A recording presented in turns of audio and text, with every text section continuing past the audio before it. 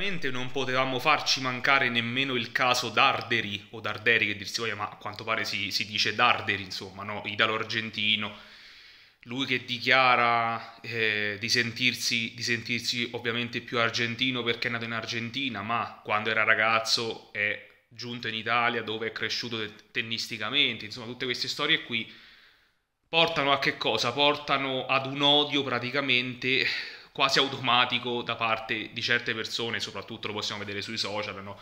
A calci in culo rivattene in Argentina, l'uno neo italiano, di là e di qua. Allora, io devo dirvi la verità, mi trovo un po' in una posizione, diciamo, nel mezzo, nel senso che condanno ovviamente tutti, tutti, gli insulti, tutte queste cose qui e dico che fin quando si trova a gareggiare, fin quando si troverà a gareggiare sotto bandiera italiana, vince un titolo, come è accaduto in questo caso, si esulta, il titolo verrà refertato come vinto da un italiano, punto. Poi, se in un futuro, che sia, che ne so, fra, fra due mesi, fra due anni, non so quando, eh, gareggerà, inizierà, diciamo, a gareggiare, a, a, competere, o meglio, non a gareggiare, eh, sotto bandiera argentina, ok, ciao, quella è la porta, Tanti saluti, ha il doppio passaporto, è nato in Argentina, è cresciuto tennisticamente in Italia, ha, se non erro, dei nonni di origine argentina,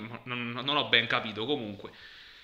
E perché tutto quest'odio verso questa persona da parte di alcune persone? Per carità, eh, non tutti, però eh, cioè, è ovvio che poi i social da questo punto di vista sono veramente una fogna, una fogna a cielo aperto e, e quindi mi danno veramente fastidio queste affermazioni, queste cose qui. Però perché mi trovo in una situazione, diciamo, a metà? Perché allo stesso tempo è una situazione del resto con queste dichiarazioni, nel senso mi sento più argentino, quello e quell'altro, no? È una situazione oggettivamente ambigua. Quindi diciamo che ho esultato in passato molto di più per titoli vinti da altri italiani. Sinner a parte, che Sinner vabbè ci sta facendo godere proprio uh, a gonfie vele, come direbbe qualcuno, insomma. Però, eh, considerando magari i vari Musetti, Sonego, Fognini, ovviamente, cioè, diciamo che ho goduto e ho, e ho esultato di più per tornei vinti da altri italiani, ma non per questo non sono contento per questa vittoria di Darderi, ecco. Questa è un po' la, la mia visione e il, mio, il mio punto di vista. Comunque ditemi la vostra qui sotto nei commenti. Iscrivetevi, campanella mi piace. E che dire, ATP 250 di Cordoba, dalle qualificazioni alla vittoria finale, dal numero 130 errotti del ranking ATP al numero 76 all'inizio di questa settimana, quindi si entra in top 100, anzi in top 80. E ora è iscritto a Buenos Aires dove ha uno special exempt, nel senso che di diritto, visto il percorso fatto a Cordoba, si trova in tabellone e quindi, che dire, bravo Luciano o Luciano che dir si voglia, Darberi nel vincere il suo primo titolo a livello ATP. Ricordiamo partendo dalle qualificazioni, battendo anche giocatori come Hanfman e Baez che comunque quantomeno su terra sono giocatori di, di tutto rispetto comunque. E infatti Darderi un, ha le caratteristiche proprio del, del terraiolo insomma.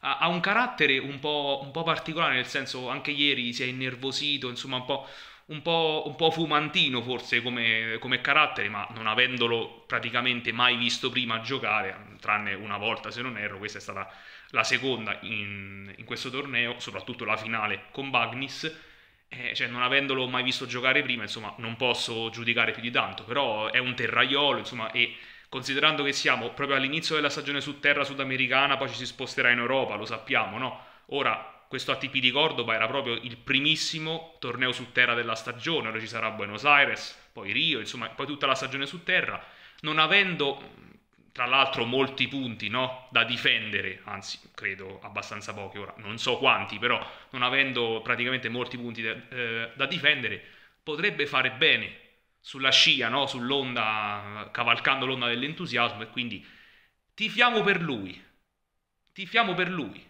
batte bandiera italiana, tifiamo per lui, poi si possono fare come ho detto fino, fino, a poco fa, cioè tutti i discorsi del mondo. E anche io, ripeto, mi trovo in una situazione un po' così, dove ho esultato, ma, ma nemmeno troppo, perché è una situazione un po' ambigua. È ovvio cioè, che ci pensi quando pensi, ok, un idolo argentino che, che dichiara comunque di sentirsi argentino, però gioca in Italia perché è cresciuto tennisticamente in Italia. È ovvio che magari ci pensi un po', è una, è una cosa oggettiva secondo me, cioè, e non me ne devo vergognare. Però allo stesso tempo, ripeto, non non passare da un eccesso all'altro. Quindi, bravissimo Darderi, che ripeto, numero 76 al mondo, da, da oggi in pratica, da, da, lunedì 12 febbraio. E tra l'altro in passato a Cordoba, sappiamo a Cordoba, non che ci siano insomma sempre grandi campioni, anzi è un torneo occasione diciamo per coloro che sono un po' de, delle seconde linee sempre tra virgolette. Ricordiamo qualche anno fa Juan Manuel Serundolo, il fratello più piccolo di Francisco Serundolo, eh, eh, che partì dalle qualificazioni e arrivò a vincere, arrivò a vincere il suo primo ed unico finora titolo a livello ATP. Poi eh, ebbe insomma quel picco, poi praticamente adesso è tornato a giocare eh, prevalentemente ATP Challenger. Quindi, insomma, sono, è veramente una grande occasione e Darderi la sfrutta alla grande partendo dalle qualificazioni, quindi bravissimo. E poi, vabbè, gli altri tornei della settimana, eh, sempre a livello ATP. ATP di Marsiglia, vinto da ATP 250 di Marsiglia, ovviamente indoor, cemento, vinto da, eh, cioè cemento, vabbè, su, sul duro, diciamo così, vinto da, da Jumber che è al suo quinto titolo in carriera, io ti favo Dimitrov, sinceramente, però vabbè, è andata così magari anche un, un po' di stanchezza, eccetera, eccetera. Stanchezza che tra l'altro, che tra l'altro tornando un attimo eh, a Cordoba, ha avuto anche Bagnis, Facundo Bagnis, argentino avversario di Darderi, che io tra l'altro ho visto giocare 5-6 anni fa, circa 5 anni e mezzo fa, in un Challenger in Abruzzo, tra l'altro vinto da lui, e, ehm, così, cioè, giusto, giusto, per la cronaca, era veramente stanco Cotto, cioè si muoveva poco, insomma i, i colpi non erano, non erano, molto incisivi. Poi diciamo è anche stato Darderi a rimetterlo un po' di partita, magari un po' di tensione dal, per l'italiano, eh, però alla fine diciamo che nel complesso se l'è portata a casa mh, abbastanza in, in, maniera sciolta, ecco, ma l'avversario Bagnis aveva delle, delle belle difficoltà fisiche, quindi non è stata comunque una finale alla pari, però bravissimo ad approfittarne appunto Darderi. E, ehm, ma dicevo, eh, Dimitrov, tifavo per Dimitrov a Marsia, però vince Jumber e comunque vabbè, è andata così. ATP 250 di Dallas invece da, oltreoceano, quindi dal, dall'altra parte del mondo di fatto, in, negli Stati Uniti, finale tutta statunitense, vince Tommy Paul contro Marcos Giron. Tra l'altro i due sono, sono molto amici, praticamente ha, hanno combattuto per tre ore e poi scherzano come se nulla fosse comunque sono sempre delle belle immagini, quindi vince Tommy Paul. E mentre per quanto riguarda i tornei WTA, torna alla vittoria Carolina Pliskova dopo qualcosa come 4 anni, poco più di 4 anni se non erro, torna alla vittoria WTA 250 di Cluj in Romania eh, batte la rumena Bogdan in finale. E quindi Carolina Pliskova torna al successo. Torna al successo anche Ribachina, quindi mette in bacheca il, il, primo torneo della stagione, dopo insomma la, la, delusione Australian Open perché è uscita oggettivamente abbastanza presto, quindi eh, è stata comunque una delusione il suo Australian Open, vista anche la finale dello scorso anno, però si va a prendere il WTA 500 di Abu Dhabi ehm, in finale contro contro non ricordo chi, in finale contro non ricordo chi, però comunque vince 2-7-0 eh, Ribachina, quindi contento anche per lei. E, I tornei di questa settimana che viene, tornando negli Stati Uniti, ATP 250 di Delray Beach, torneo che abbiamo imparato a conoscere insomma negli ultimi, negli ultimi anni, abbiamo un, un Matteo Arnaldi in, in, tabellone, tra l'altro, testa di serie numero 1 è Taylor Fritz, ma avevamo anche Coboli nelle qualificazioni che ha perso l'ultimo turno di qualificazione. Ora, dei quattro che hanno perso al secondo e quindi ultimo turno di qualificazione, è quello con la classifica migliore. Quindi speriamo magari in un ritiro da, da parte di qualcun altro, anche se non lo so, la vedo un po' difficile, però mm, speriamo perché sarebbe comunque il primo ad essere eh, ripescato comunque eh, Cobolli. Peccato perché era andato in vantaggio contro il Moreno de Alboran che ha una classifica comunque peggiore rispetto alla sua, però eh, anche lui sarà, se non, è, è, se non erro, un giovane promettente spagnolo, quindi peccato Cobolli che ora ha una buona classifica, ecco, attorno alla numero, alla numero 70, poco più, e peccato per questa non qualificazione, però vediamo se, se verrà tante le volte ripescato. Poi ATP di Buenos Aires torna quindi prosegue la, la stagione su terra, secondo torneo, torna in campo Carlos Alcaraz, testa di serie numero 1, testa di serie numero 2 eh, Camerun Norri e abbiamo un Vavassori in tabellone che si è qualificato, quindi bravissimo, bravo, sempre bravo quando uno come Vavassori che si sta concentrando mh, negli ultimi tempi, diciamo, mh, maggiormente, ehm, cioè diciamo si sta concentrando eh, di più sul singolare, no? Poi ovviamente sempre con il doppio, si va avanti e recentemente no? abbiamo visto tutti, finale all'Australian Open con Bolelli, però anche nel singolare comunque sta, sta sparando diciamo, delle, delle, buone cartucce e sta ottenendo dei buoni risultati anche, quindi si qualifica e vediamo come andrà contro il brasiliano Saibot Wild, credo che si dica così ma non sono troppo sicuro.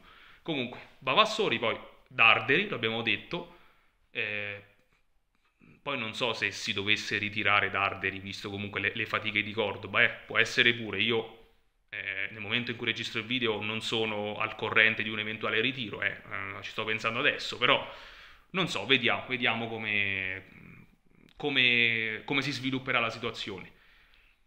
Poi a livello WTA abbiamo un solo torneo questa settimana, tra virgolette un solo torneo perché è il primo WTA 1000 della stagione con Iga Swiatek testa di serie numero 1.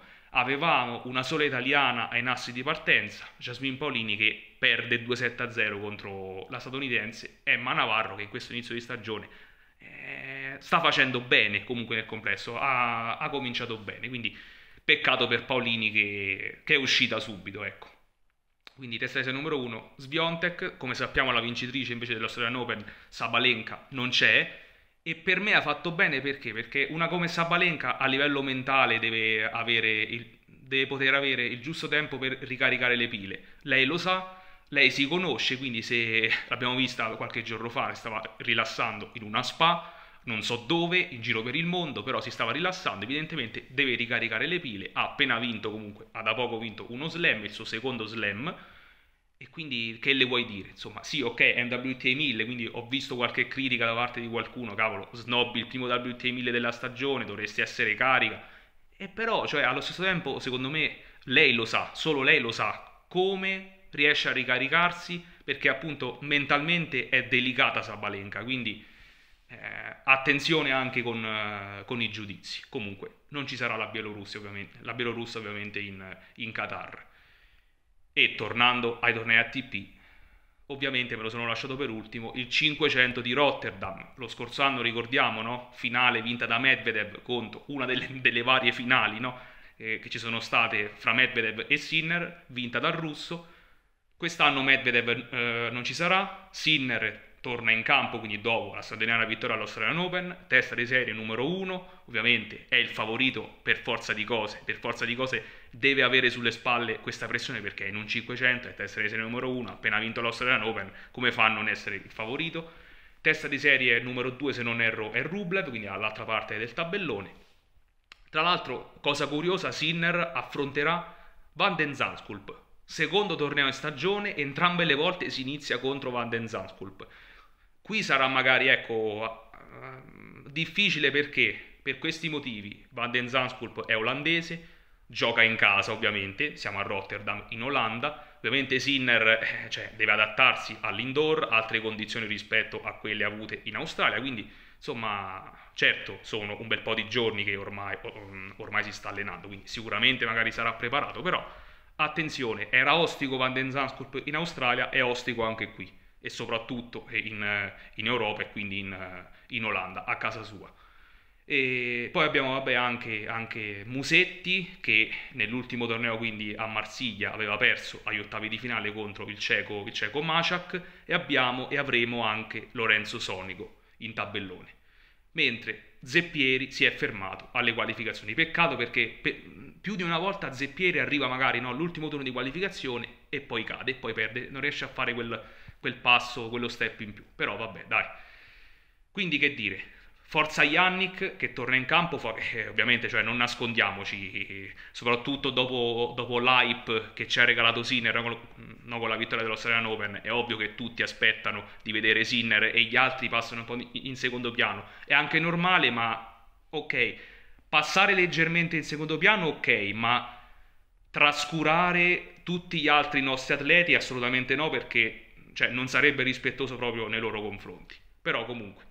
Forza Yannick, forza Azzurri in generale, ovunque voi siate e ovunque voi giochiate, giocherete. Iscrivetevi, campanella mi piace, se mi sono dimenticato qualcosa ovviamente lo aggiungerò nei, eh, nei commenti.